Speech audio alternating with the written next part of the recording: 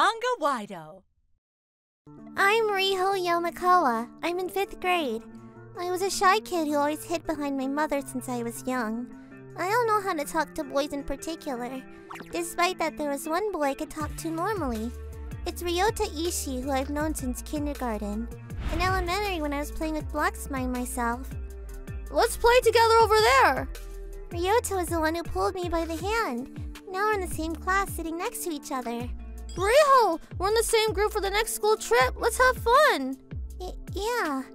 I heard there's rare insects in Mount Manwa. Dad said so. Let's go get them. But, but, I can't touch bugs. You can't? Then I'll catch it and show you. Okay, thanks. I always apologize in my head for not being able to talk to him properly. Despite that, Ryota-kun always talked to me without making a sour face.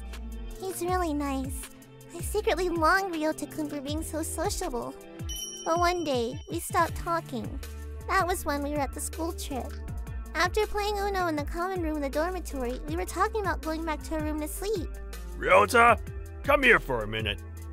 The teacher came to call Ryota in a panic. And then Ryota left the dormitory and never came back. At that time, there was no detailed explanation from the teacher, so we were all worried about what had happened. The next day, as soon as I got home, my mother told me that Ryota's house had caught fire. I was speechless. Apparently, a littered cigarette caught fire in Ryota's yard and caught on fire. Not only did the house burn down, but Ryota's father and mother were too late to notice the fire and passed away. Only his sister managed to escape with the help of the firefighters, but she was in the hospital for her burns. What should I say to Ryota? It's okay to be the same as usual, but maybe Ryota won't be coming to school anymore. What? Why?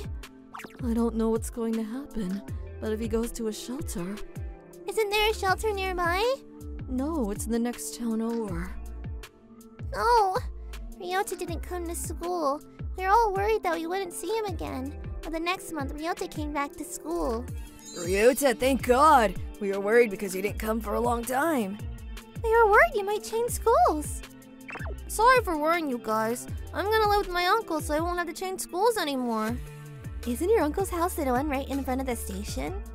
Yeah, it's a bedding store. I'm gonna commute from here from my uncle's house until graduation. Let's all hang out again. Ryota-kun smiled with his usual kind face, but he doesn't have the same energy as before. I heard my mother and the neighbors talking, but it sounds like the situation is pretty complicated. I can only look after one child financially. Ryota's uncle said that and refused to take his sister in who was a high schooler. His sister. I can go to high school from the facility. She encouraged Ryota to live with his uncle. But the truth is, the uncle and his wife said they didn't want to take his sister in because of the burns on her face. What? That's horrible. After that, Ryota continued to go to school normally. He was laughing and joking around like before and seemed to have recovered. But most of her classmates noticed that he was just acting cheerful. I think all the girls in particular noticed it. Some of the boys did not understand that. Ryota, I'm so glad that you're fine. And frolicked naively. As for Ryota, he seemed to be more comfortable hanging out with boys like that, so I often saw him talking with them. At first, we were being very sensitive towards him, but we were able to close the distance gradually. Then one day... Due to an electrical problem in the lunchroom, they won't be able to prepare school lunch for a while. What? So we have to skip lunch? I don't want to do that! Please bring your own lunch for a week starting next week. It's written on a printout, so be sure to give it to your parents. If you forget, you'll have to skip lunch, so be careful. Yes! The following week, bringing lunchboxes remind me of this field trip. I was a little excited. Everyone seemed to be the same, and we're looking forward to lunch. Come lunchtime, we open up our lunchboxes. Wait, Ryota, just a slice of bread? Oh, Auntie said that's all I need. What? That's not enough, right? Oh, you can have some of this if you want. I plated some of my side dishes on the lid with the pig and handed it to him. Ryota seemed reserved. My mother got excited and made too much. She won't be happy if I take it home with leftovers, so I appreciate if you have some. I told him that and he ate it all. Thanks, it was really good. I'm glad. School lunch is really the only decent meal I could have, so not having that was pretty troubling. Wait, what do you mean by only decent meal? Auntie doesn't give me much food. I see. I was quite stunned and didn't know how to reply. I came home and casually told my mother about my conversation with Ryota. He said he doesn't get food at home. I want to share more with him, so can you pack a lot from tomorrow? And my mother's face turned grim. The next day, my mother made two lunches for me. Ryota was surprised when I gave it to him, but he seemed really happy and ate it thanking me over and over again. Even after school lunches resumed, whenever we saw each other, Riho, your mother's omelet was super tasty. I envy you for being able to eat food like that every day. I was happy when he gave me a compliment. But it was only for about a month that I could see a smile like that. Ryota suddenly transferred to a different school. I later heard that my mother had consulted the ward welfare office about him not getting food at home. Apparently, Ryota's uncle had taken him in for the money he had received from the government. He didn't give him much food. A few weeks after Ryota transferred schools, he and his sister came to our house to say hello. Thank you so much. It was my fault for sending him to her uncle. I made the mistake of thinking it was better for him to grow up in a normal home than an institution. It's not your fault. You did your best. If there's anything I can do to help you in the future, let me know. Yes, thank you. I will never forget this favor. Thank you very much. Your lunch was delicious. I'll be sure to return the favor someday. Thanks, Riho. Let me thank you again when I see you next time. Yeah, take care, Ryota. Come visit me at school again. We'll all be waiting for you. Yeah, thanks. I'll definitely see you again. Rumor had it that the bedding shop owned by Ryota's uncle went out of business.